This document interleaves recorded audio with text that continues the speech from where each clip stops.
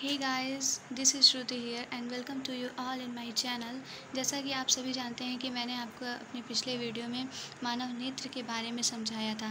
लेकिन आज मैं आपको तंत्रिका तंत्र के बारे में बताऊँगी कि आखिरकार हम सोचते कैसे हैं।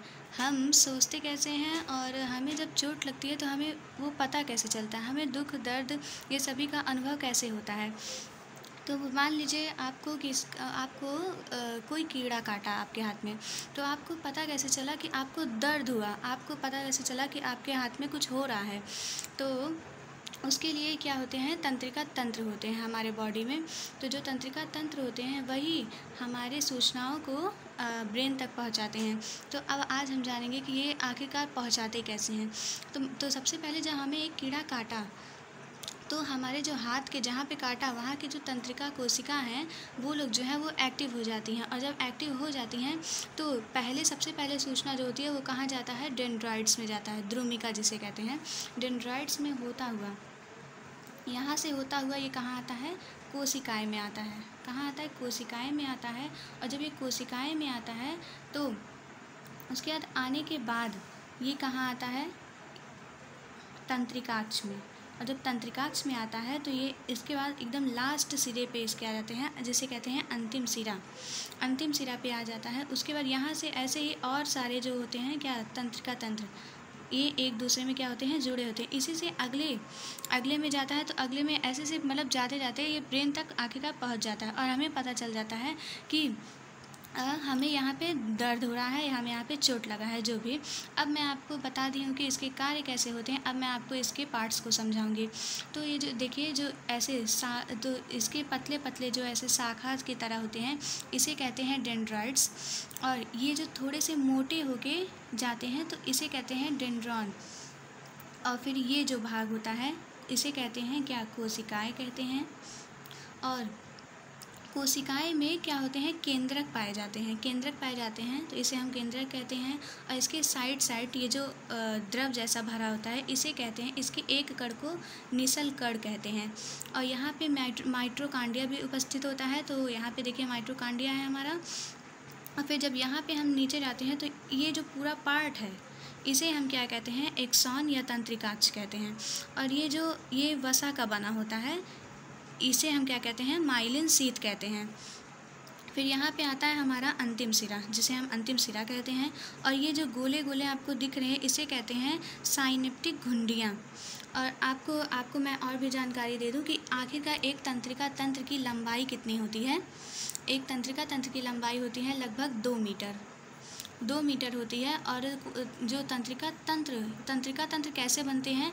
तो ये तंत्रिका कोशिकाओं से मिलकर एक तंत्रिका तंत्र का निर्माण होता है। ये आखिरकार ये हमारे बॉडी में होते क्यों हैं? तो ये हमारे बॉडी में कंट्रोल करने के लिए हमारा हम जैसे बहुत ज़्यादा जब सोचते हैं तो हम बहुत इमोशनल हो जाते हैं या बहुत खुश हो जाते हैं ज़्यादा।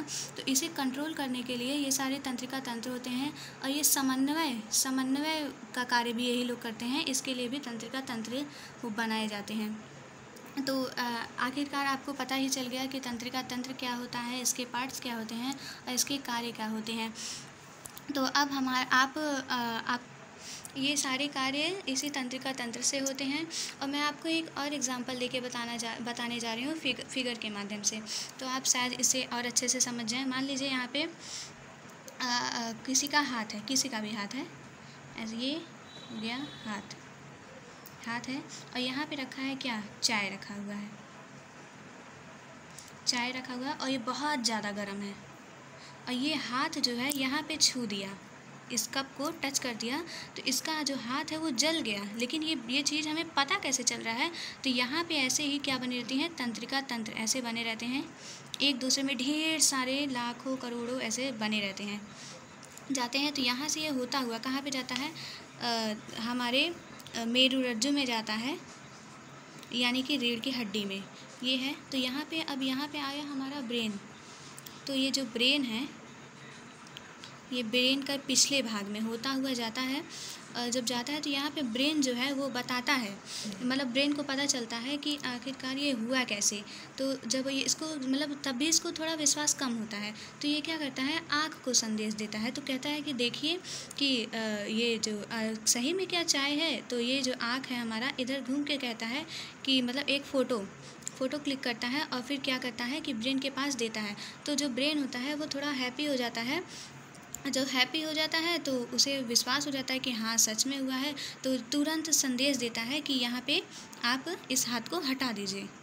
हाथ को हटाइए तो मतलब तब, तुरंत हम जैसे देखिए कोई चाय है मान लीजिए जैसे टच हुआ, तुरंत जैसे अगर हमें दर्द हुआ तो हम तुरंत हटाते हैं ना तो वही चीज़ इसमें बताया गया है कि तुरंत इसी के माध्यम से इसी तंत्रिका तंत्र के माध्यम से ही हमें ये सब पता चलता है कि कैसे आखिरकार मतलब हम, हमें जला है, हमें चोट लगा है, ऐसे यहीं पे कीड़ा काट लिया, आपको तब भी पता चल जाएगा। और यहाँ पे मान लीजिए मतलब आप जल गए, काट लिया, कुछ मच्छर काट लिया, तब भी आपको इसी के द्वारा ही सारे चीज़ पता चलते हैं। और मान लीजिए, आप जब इमोशनल हो जाते हैं, तब भी सोचने का क्षमता हमारा ब्रेन करता है। और ये ब्रेन बहुत इंपॉर्टेंट है। ब्रेन के बारे में आपको शॉर्ट्स पे इसके फिगर्स भी बताना बताऊँगी और वो ब्रेन के बारे में भी समझाऊँगी। तो आज के लिए तंत्रिका तंत्र के बारे में जान गए होंगे और आपको, आई होप आपको बहुत अच्छा लगा होगा ये वीडियो।